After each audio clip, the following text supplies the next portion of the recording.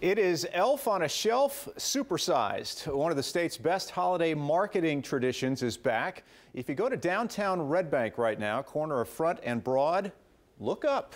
The Saxum Elf is back. Last few years, Saxum Real Estate has been playing Elf on the Shelf at their offices around New Jersey. It's a giant 12-foot elf sitting on the roof there.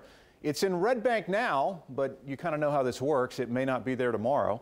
In past years, it's been seen in Montclair and New Brunswick. It does tend to move around, but the holidays are here and the elf, the big one, is back.